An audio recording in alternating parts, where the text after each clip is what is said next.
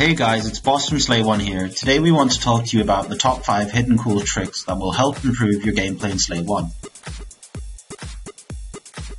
You can control your character's movement by using WASD. Aim and shoot with your mouse cursor. So for switching weapons, you can either click on the available weapons to the right side of your screen, scroll or use the number pad 1 to 0 to switch between each weapon.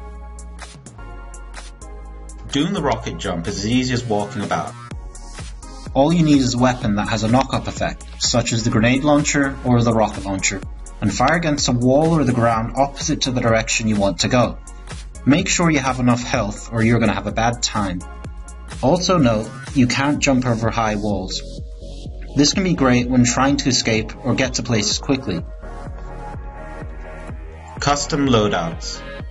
This is where you can be very creative with how you want your character to fight. Whether you want to sneak up, using invisibility on campers and burst them down with shotguns or flamethrowers, or dodging bullets with full agility. We have all sorts of dimensions you can mess around with. Water is a lethal force in Slay 1. Anyone touching the water will immediately evaporate. Use this mechanic to your advantage. Push your opponents off the map using rockets and grenades. Now for number 2, mini-map and gun spawn points. Fighting abilities is only half of the battle. You cannot simply survive the Hunger Game only using the laser rifle. You will need to broaden your arsenal with rockets, snipers, grenades, and much more. To survive and continue slaying, you need to become familiar with your current map, estimate the spawn rates of your most comfortable weapons, and use the terrain to your advantage.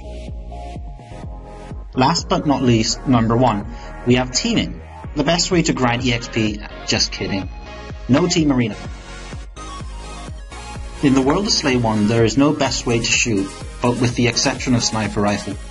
You'll have to predict and account for a travel speed for almost every weapon in the game. Whether you're trying to snipe an enemy using the flamethrower, for range, or bouncing laser shots around the map. Practice is the key to accurately taking your opponent from miles away.